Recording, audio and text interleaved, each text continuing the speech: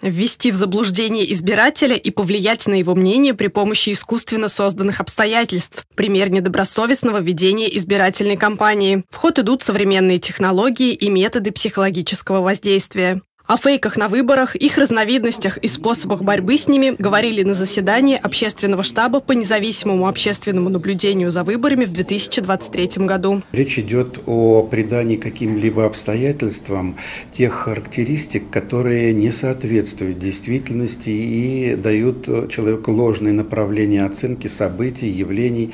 А если речь идет о выборах, то это, конечно, э, тех отношений в избирательных э, процессах, которые связаны прежде всего с формированием убежденности у избирателя в неких достоинствах кого-либо, либо наоборот чтобы не принимать за чистую монету то, что на самом деле таковым не является, важно уметь распознавать такую информацию и убирать ее из общего информационного потока. На помощь избирателям приходят опытные юристы, политологи. Сегодня против нас работают очень серьезные силы. Это силы э, профессиональные, это силы организованные, имеющие очень серьезные, э, глубокие и проверенные сетки, в том числе и в телеграм-каналах, то есть те э, возможности, которые предоставляет информационное поле для распространения так называемого разгона информации информация. Поэтому мы, конечно, предупрежден, значит вооружен. Поэтому мы сегодня постараемся предохранить наших жителей от той грязи, которая может палиться в их, э, так сказать, информационное поле.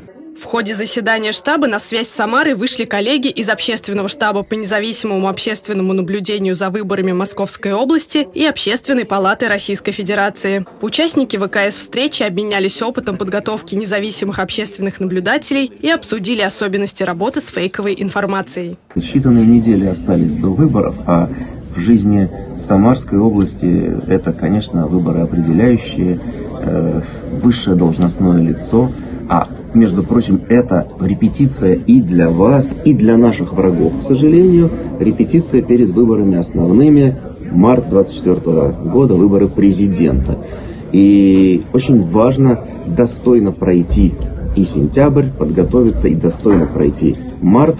В этом году в состав общественного штаба по независимому общественному наблюдению за выборами вошли представители региональной общественной палаты, ведущие эксперты в области избирательного права, представители аппарата уполномоченного по правам человека в Самарской области, Самарского отделения Ассоциации юристов России, представители средств массовой информации. Всего в составе штаба 15 человек. Председателем штаба назначен Павел Покровский, член Общественной палаты Российской Федерации. Сопредседателями стали президент Нотариальной палаты палаты Самарской области Галина Николаева и Виктор Полянский, заведующий кафедрой государственного и административного права юридического факультета Самарского национального исследовательского университета имени Королева. В этом году в состав общественного штаба вновь вошла генеральный директор телеканала «Самара ГИС» Елена Кольцун. Галина Топилина, Игорь Казановский. События.